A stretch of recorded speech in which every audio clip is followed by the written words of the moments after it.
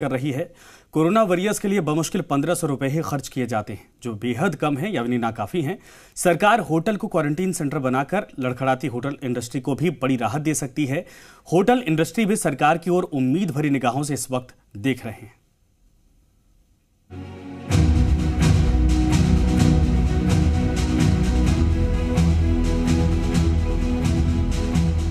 Corona महामारी के संकट काल में अपने परिवार से दूर रहकर चिकित्सा कर्मी दिन रात कोरोना संक्रमित मरीजों की जान बचाने की कोशिश में जुटे हुए हैं।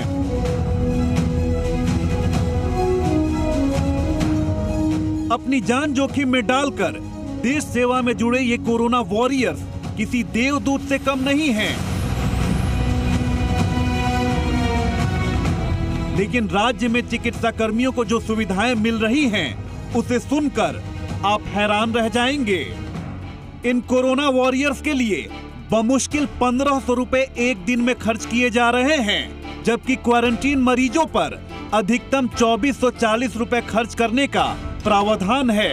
जी मीडिया ने प्रदेश के जिलों में चिकित्सा कर्मियों की सुविधाओं को लेकर पड़ताल की तो सामने आया कि ये सुविधाएँ नाकाफी हैं। सरकार जहाँ चिकित्सा कर्मियों को सुविधाएँ देने में पीछे हट रही है वहीं होटल इंडस्ट्री को भी राहत नहीं दे पा रही है। होटल उद्योग से जुड़े व्यवसायियों की अगर माने तो जो किराया उन्हें मिल रहा है, वो मामूली है।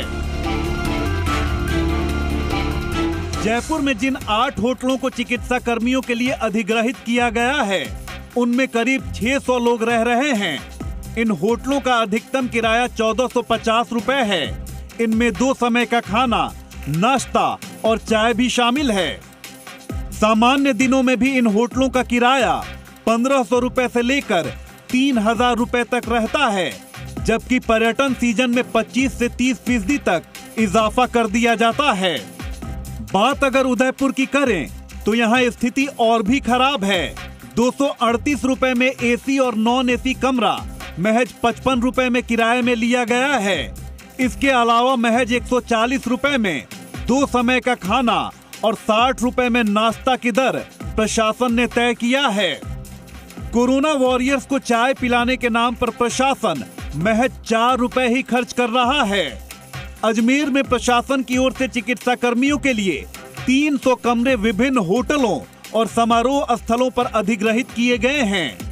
प्रतिदिन भोजन पर अस्सी हज़ार रूपए खर्च किए जा रहे हैं। प्रति व्यक्ति महज पाँच सौ सोलह रूपए ही खर्च हो पा रहे हैं। चिकित्सा कर्मियों के सुविधाओं की पड़ताल। उधर जोधपुर में जिला प्रशासन ने 25 से ज़्यादा होटल और धर्मशाला अधिग्रहित किया है, लेकिन अब तक इनके कमरों की दर तय नहीं हो सकी है। दावा किया जा रहा है कि क्वारंटीन सेंटर में प्रति व्यक्ति 2000 से ढाई हज़ार रूपए खर्च किए जा रहे हैं। बहरहाल, झालावाड़, डूंगरपुर सहित कई जिलों से शिकायतें आई हैं।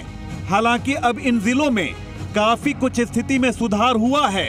यदि सरकार दिलचस्पी दिखाए तो न सिर्फ़ कोरोना वॉरियर्स को बेहतर सुविधाएँ मिल सकती हैं, बल्कि होटलों को क्वारंटीन सेंटर में बदलकर होटल व्यवसाय को भी नई संजीवनी मिल सकती है। Deepak Goyal, Zee media, Jaipur. तो बहरहाल, हमारे दो सहयोगी इस वक्त हमारे साथ जुड़ गए, जुड़ रहे हैं। आशुतोष, इस वक्त